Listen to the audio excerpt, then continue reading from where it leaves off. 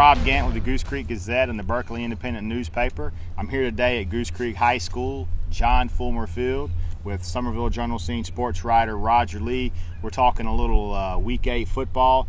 You know, to use a boxing terminology, you know, to use some boxing terminology, we've reached the championship rounds, kind of getting to the end of the regular season. We got a good slate of games coming up if they are played on time. Uh, so I guess Roger, tell us what's going on on your in, in, in your neck of the woods. Right, right. Right now, um, uh, we've got three games going on in the Summerville area. Uh, the high school league is meeting this morning, uh, so you know they might give them some more options. Uh, you know, some people at Summerville High indicated that they might reconsider playing the James Island game. Uh, if they need to. But I think for now we're going to have some football for Friday night, which is you know something we didn't have last week. Yeah, Hurricane Matthew wiped it, wiped out the whole Week Seven slate, and um, you know, it still continues to impact us on week eight. Well, tell us a little bit more about your games. Uh, we got a big rivalry game between uh, Ashley Ridge is hosting Fort Dorchester. Um, you know, that's always an exciting time. Uh, that those teams have met six times. Uh, Fort's won it three times. Uh, Ashley Ridge has won it three times. So you never know what to expect. Now, last year Fort kind of ran away with it, uh, and they certainly have the team to do that this year. but you know, Kenny Walker and his staff over there at Ashley Ridge you know they, they get excited about this game and i'm sure those kids do too and so it's you know we'll see we'll see what happens um, i think probably something that uh, that Ashley Ridge needs to focus on, which obviously you know they need to focus on. Yeah. Uh, but the key, one of the big keys for them is, is stopping the carry on Joyner. Uh, carry on has you know almost 15, I think over 1,500 uh, passing yards. Uh, talented group of receivers to throw to. Uh, so you know that's priority one for Ashley Ridge. They have to stop that guy um, and then you know uh, make the other guys hurt you if, if you can do that. For uh, for Fort Dorchester, uh, I think the key for them is you know stopping Cyrus Clark, Ashley Ridge running back. He's having a good year. Um, uh, he's uh, in addition to being the team's leading rusher, he's also the number two receiver. So they like to get the ball in Cyrus's hands, and uh, and he can do a lot with it when they do that. Certainly, lots of weapons on each team that the other teams have to worry about, but I think those are two keys. Uh, kind of maybe two uh, X factors for, for Ashley Ridge. I think if uh, their uh, defensive ends, Alex DeLoach and um, Owen Treppin, if they can have uh, a particularly well, particularly good game, I think that can make a difference. You know, they're going to be key in keeping to carry on from using his legs and just you know running up and down the field every every series. Uh, for Fort Dorchester, uh, you, haven't really heard a whole lot about Fort Dorchester's secondary. They're a young group, but they're getting better. I think uh, that could be the X factor for them. If they're, uh, they've, I think they've made some changes. Uh, yeah, I haven't seen them in a couple of weeks, but I think they've made some changes back there. Put some new guys, at least one new guy in, and if one of their defensive backs could come up with a big game, then that could kind of clinch it for Fort Dorchester. Another game on, uh, on my side of the, the fence is uh, Summerville is hosting James Island for their homecoming game. Now, uh, one thing that definitely has been canceled is the uh, homecoming parade that was going to be later today. They're moving the homecoming parade to before the Fort game, that Wednesday before the Fort Dorchester game. Now, they are still having homecoming activity. Here we go. We got, got a gym. All right, man. A little extra excitement here. Anyway, they are they are having the um, homecoming at halftime. So if if you know anybody on the homecoming court, you know uh, it, the weather is supposed to be nice this Friday. You might want to get out there and, and show your support for those people. Um, see, Summerville is three and three. Uh, James Island is two and four. Um, you know, I think uh, Summerville stands a really good chance in this game. Uh, uh, James Island has a good passing attack. They're going to have to, uh, Summerville secondary is going to have to really do a good job, but they've got the personnel there. I think Summerville's defense is, is a little too tough for James Island, but you know, you can't count James Island out. They're, uh, they got a good program over there. Uh, uh, two guys having an exceptional year for Summerville are quarterback Jonathan Bennett, dual threat. But he's really improved his passing game since last season, moving the ball around. Uh, Shaq Davis is a tall receiver uh, who has just given Summerville an extra option this year. A 6'4 guy. Him and Jonathan are both basketball players, so you know Jonathan's got plenty of experience giving that alley oop to him, and it's kind of transferred over onto the football field. You know, just that's his favorite target this year obviously, Summerville has other weapons. They've got some good running backs, some good receivers, but Shaq has really stepped his game up this year. Uh, well, it's his first year with a, you know, playing varsity football, but uh, he's really stepped up in his first year rather than you know not doing better than he did last year. Uh, another game we have uh, uh, both those games at 7:30 p.m. Friday for now, if nothing changes. Uh, also, Pinewood will be hosting Laurence Manning. Pinewood is on a bit of a roll.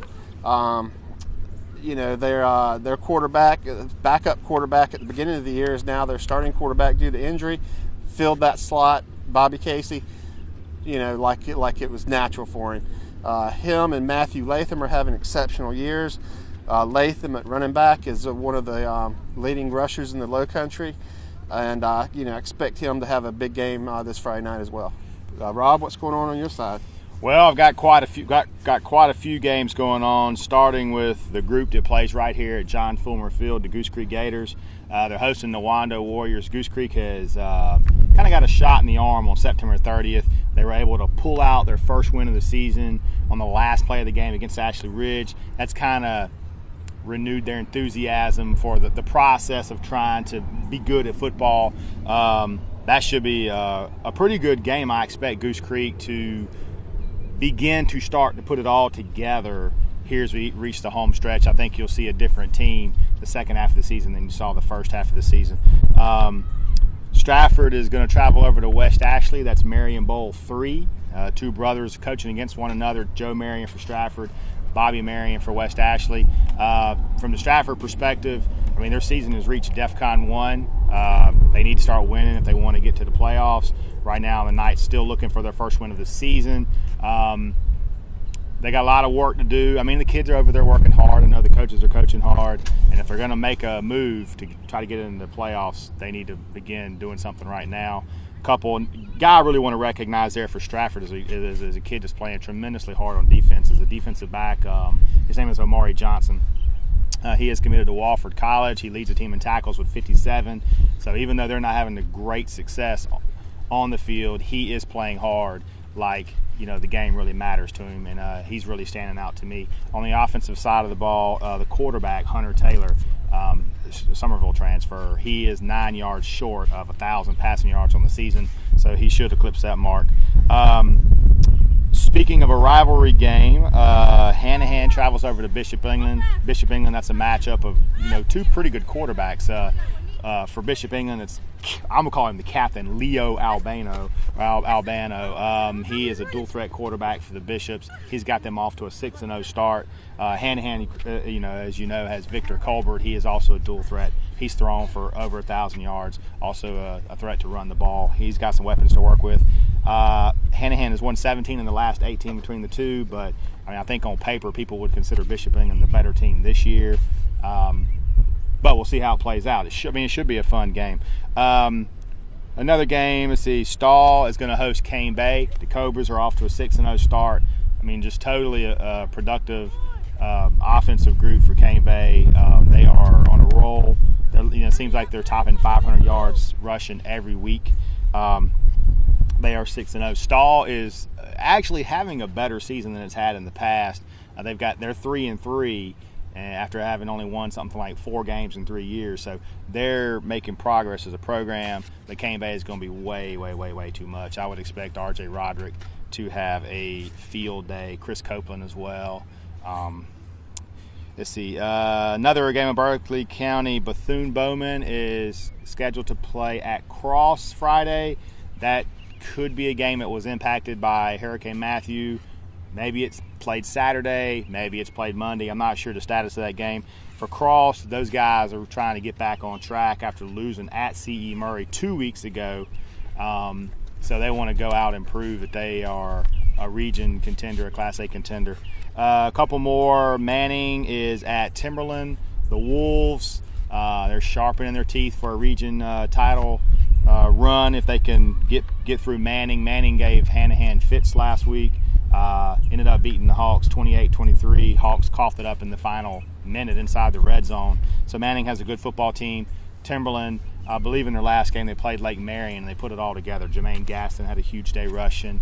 Um, and, pretty much everybody had five or six tackles. Great group. Uh, defensive effort there for Timberland. Uh, two more. St. John's Christian is at Wardlaw. Uh, that's a long haul to North Augusta or Edgefield County for the Cavaliers, um, but they've had a pretty successful season this this year after not winning a game last year. They're four and three. Uh, I would look for a very fun game there. Um, it's, it's eight man football. It'll, it'll, it'll, be in the 60s to the 50s, I'm sure.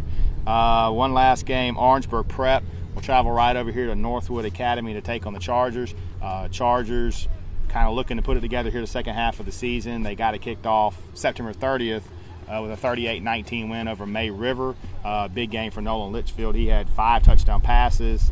Um, he threw two to, I think he threw two each to two of his favorite targets. It was a very efficient effort. Um, well, that will do it for this, the slate of games this week for Week Eight. Um, as we mentioned earlier in the video, there's a chance that some of the, the schedule times could be impacted by what the high school league determines today. Some teams may play their games later. They may move them further back. We don't really know, but uh, definitely stay tuned to uh, thejournalscene.com or w, uh, www.journalscene.com, berkeleyIND.com, and ourgazette.com. We'll have the information on all the games and when they're rescheduled for. But I know I speak for a lot of people when I say that we're ready to get the show on the road and let's get these guys out here playing some football, kind of return to normalcy for everybody.